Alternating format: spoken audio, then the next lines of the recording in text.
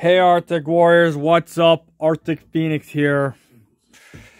I don't really talk boxing too much, but let's discuss an elephant in the room.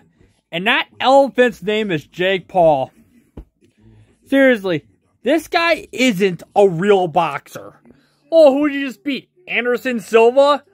Not saying Silva sucks in the MMA fight, but he's past his prime.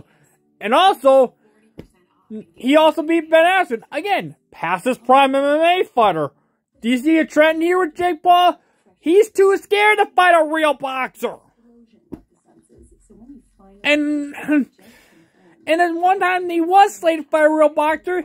That boxer got shamed because he was overweight and cheating. And Jake Paul got off scot-free. Even though we clearly knew that Jake Paul was a coward for accepting a fight to begin with. Would have guessed? Gotta, gotta protect the image of one of the most overrated, undeserving boxers of all time, or at least in recent memory.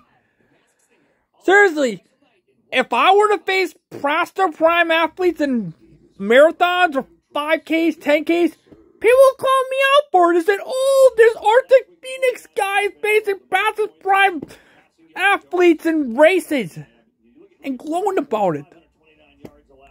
But any slack for Jake Paul or any backlash for him? No. He, he's the greatest fighter of all time. He's as good as Muhammad Ali. No, he's not.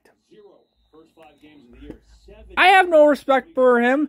And apparently a lot of people don't either. And they're right to think that.